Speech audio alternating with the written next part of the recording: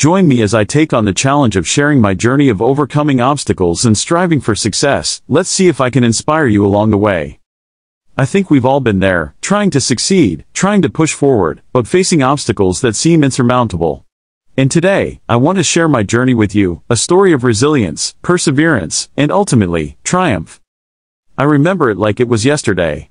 I was working on a project that I had poured my heart and soul into, and it was met with rejection. Not just any rejection, but a harsh, brutal rejection that left me feeling like I wasn't good enough. The doubts started creeping in, maybe I'm not cut out for this. Maybe I'm just not talented enough. The fear of failure was suffocating, and I felt like I was drowning in it.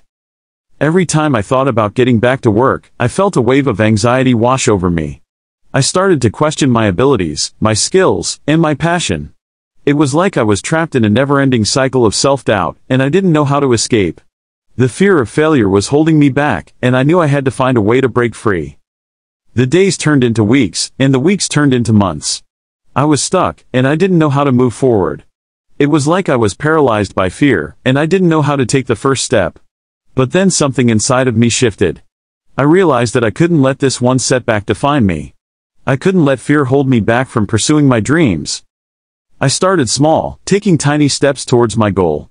I began to surround myself with people who believed in me, who encouraged me to keep going. I started to reflect on my strengths, on what I did well, and what I could improve on. And slowly but surely, I started to rebuild my confidence. It wasn't easy, and it wasn't quick, but it was a start. One day, while talking to a friend, I had a breakthrough.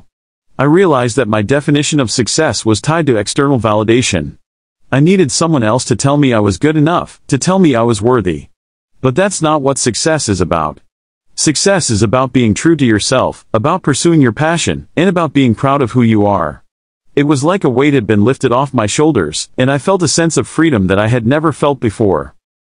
I started to approach my work with a new mindset, a mindset that was focused on growth, on learning, and on self-improvement. I stopped waiting for someone else to validate me, and I started to validate myself. I started to celebrate my small wins, my tiny achievements, and my progress. And you know what? It felt amazing. Looking back, I realized that overcoming that obstacle was one of the best things that ever happened to me. It taught me the importance of perseverance, of resilience, and of believing in myself.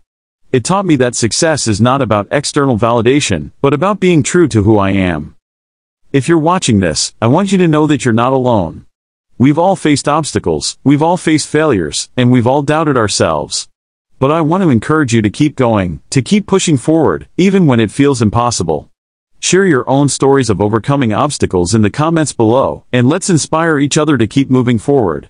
And if you want to see more inspiring content, be sure to subscribe and hit that notification bell. Thanks for watching.